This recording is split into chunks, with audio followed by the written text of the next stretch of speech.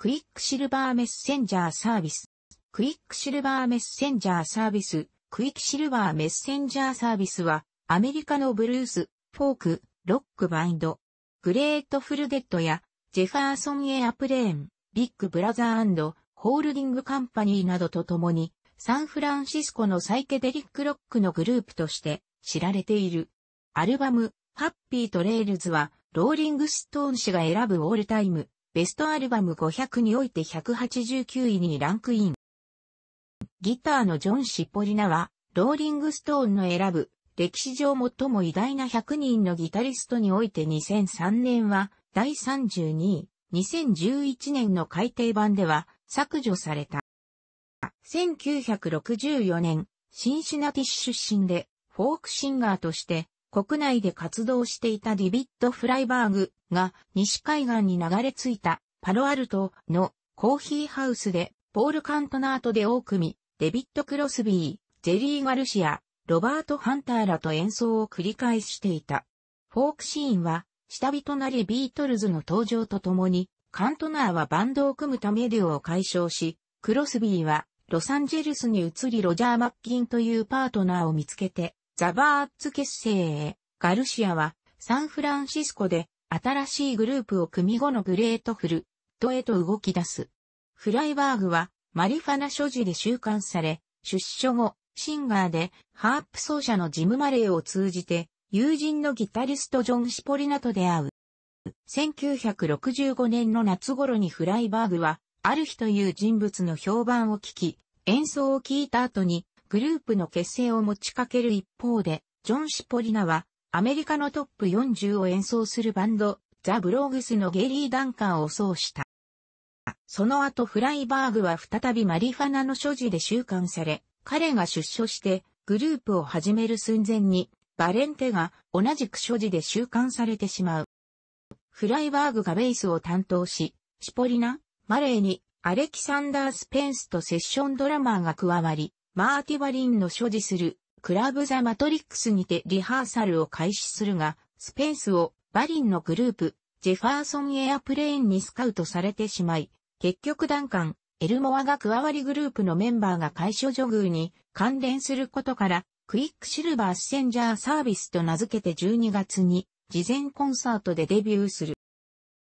名前の由来についての補足、マレーとフライバーグが名前を思いついたんだ。俺とフライバーグは同じ日に生まれている。ゲイリーとグレゴリーも同じ日に生まれている。みんな乙女座だった。マレーは双子座。双子座と乙女座の守護星は水星。マーキュリーの別名はクイックシルバー。水銀は古来ギリシャ神話になぞって神の使いとされている。そして乙女座はそれに使える人。そしてフライバーグが言ったんだ。おう、クイックシルバーメッセンジャーサービス。ジョン・シポリナ。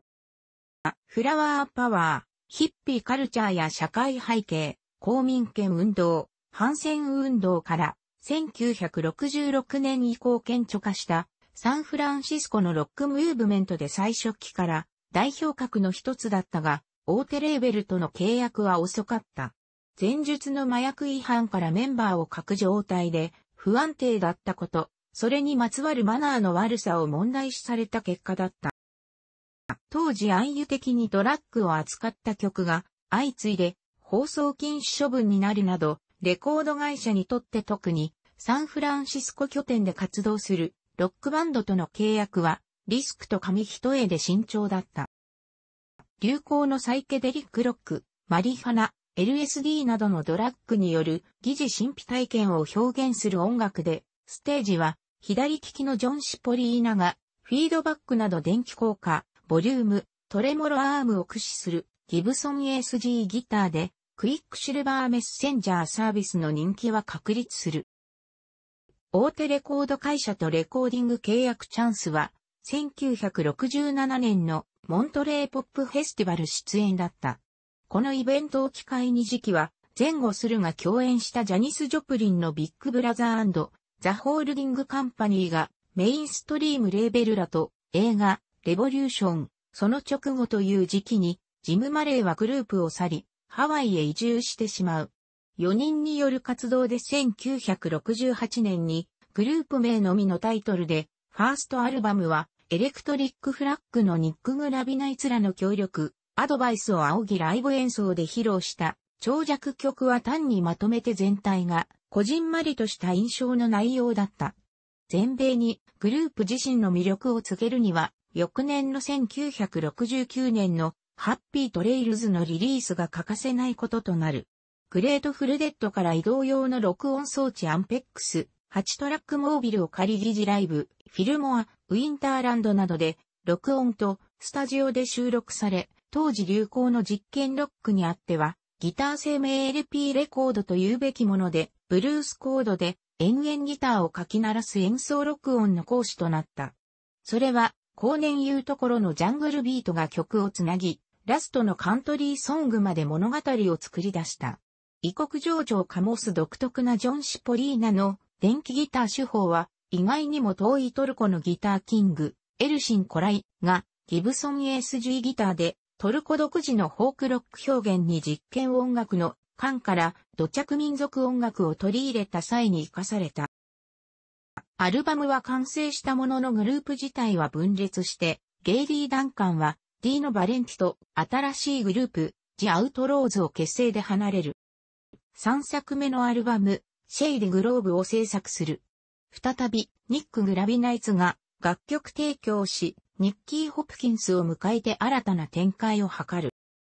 1969年は、ライブ活動出演を減らしダンカン、バレンティが復帰し、スタジオワークに時間を割き、翌1970年に6人編成で、傑作、Just for Love をリリース。同年に録音した What About Me の頃にはホプキンスが1971年に入るとジョン・シポリナも抜けてしまう。何度か目のドラッグ所持逮捕から脱退を余儀なくされたフライバーグは復帰をヒカントナー、グレース・スリックらのマッキ・ジェファーソン・エアプレーン、ジェファーソン・スターシップに合流する。